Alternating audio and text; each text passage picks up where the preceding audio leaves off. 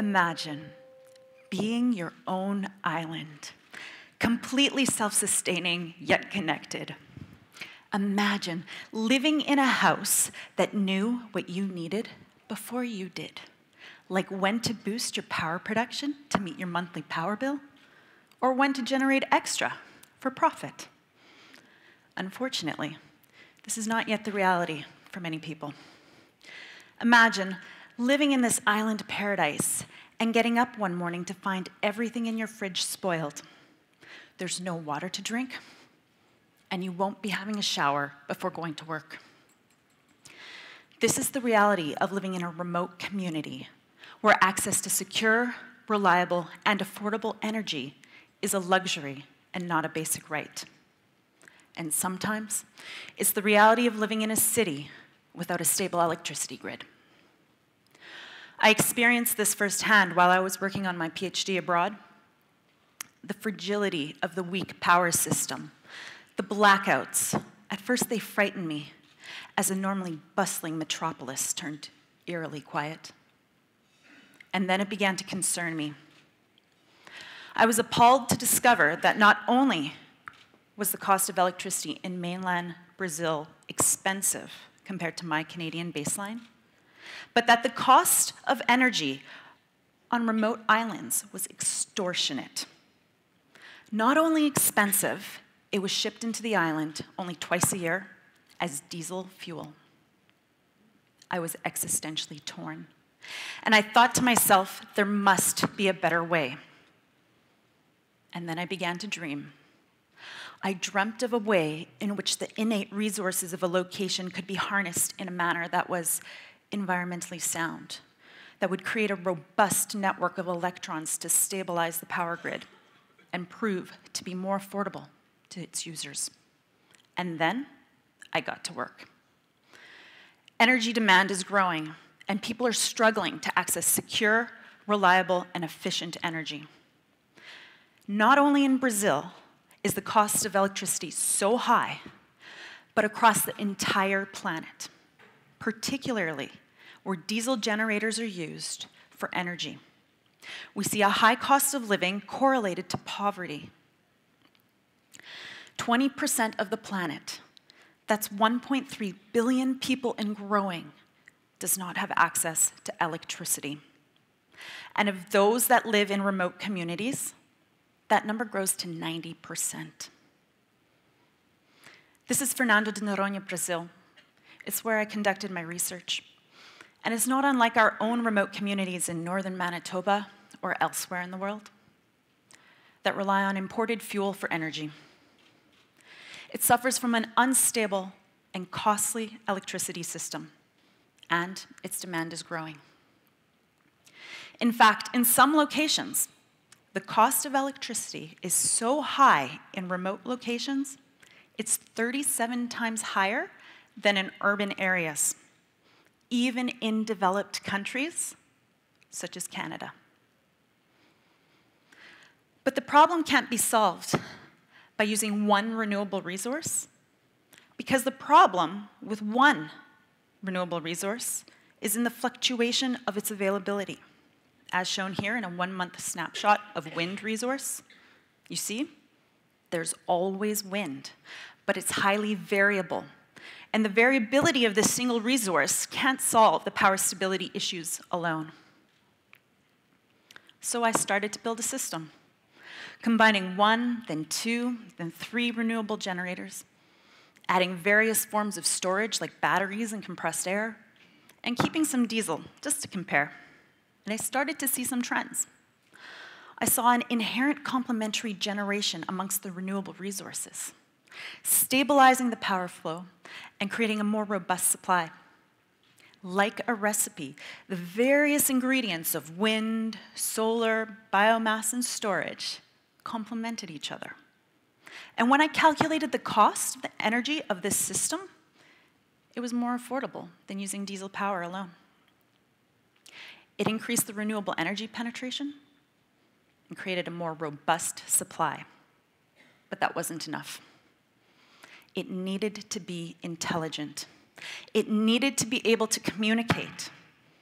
It needed to be able to collect information and make decisions upon that information for where the electrons needed to flow, whether to supply or to storage, or to be pulled from storage to power your air conditioner when you come home from work on a hot day. This showed that multiple renewable resources had complementary characteristics. And when deployed properly with storage, enhanced grid stability, reduced the cost of electricity, and generated 100% renewable power. Yes, 100% renewable energy is possible within certain times of day and depending on how the system is designed to behave. You see, the solution isn't in one, two, or three resources, but in the combination, the communication, and the integration of these resources that we build robust communities. By combining various resources, we know at what time of day we can expect which generation to perform. Not only for that day, but for days, weeks, months, and years ahead. We know at what time of day we can expect to use live resources like solar or wind, or when we'll have excess to deposit into storage or to be pulled from it, and even how much diesel we can scale back to and replace with biofuel. By choreographing the energy flow, we know at what time of day we can expect 100% renewable energy generation and how that corresponds to a reduced cost in electricity and total grid stability. So we need systems that will be able to make smart operational decisions, knowing what to deploy when in an optimal way. We need systems that will be able to solve these big, complex data problems in real time. And we need systems that will be able to be flexible and agile enough to work with any type of renewable energy technology and storage, allowing customization at any level, be it residential, commercial, or industrial, at the utility scale, microgrid, or off-grid, providing the best operational strategy for the user. So now we can begin to design and build our cities in a more holistic manner. Life in the connected city will include the intelligent energy management and movement of electrons, the smart grid. It'll include the implementation of clean, digitally connected technology like green buildings via the IoT, the Internet of Things. It'll include smart roadways and transportation, food and waste management, and a more holistic approach to city planning, including elder care and advanced digital connectivity for homes and businesses. And in order to do so, we need to start with our next generations. We need to ensure that our schools are green and smart. We need to ensure that we have policy in place to allow us to create our homes and buildings as power assets, mortgaged against the power that they will produce. And we need to have revised financial models in order to support this. Take my example of an integrated energy plan for schools.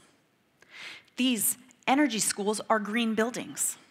They're an opportunity to build energy efficient, higher performing schools with environmental benefits, offering higher learning environments that are economical to build today and operate for years to come. This will transcend into our manufacturing facilities as we build the factories of the future that will ultimately build our homes and cities at large. And there needs to be a holistic approach into how these buildings are integrated into the communities around them, including food production and harvesting and wellness usability. And in order to get there, we need to change some paradigms. We need to change the paradigm of energy generation to move from a centralized system to distributed generation. We need to change the paradigm of the conventional electricity grid. We need to change policy to ensure that we can allow smart and clean technology and energy. And we need to change our building and electrical codes to require construction practices that integrate this technology. And we need to change our financial models to ensure that we can build our homes, our properties, our buildings as power assets, mortgaged against the power that they'll produce, so that we can truly own our own energy and ensure that planning our energy, our energy futures is the global standard. After all, energy is a long term investment, like our homes, and the power is in the plan. Smart buildings connected to the smart grid will build smart cities, communities, and countries. No longer is your home just your castle, but your power asset and your own island. And if we apply the proper forethought in the design process rather than at random, we'll be able to build smart cities and smart countries together. Thank you.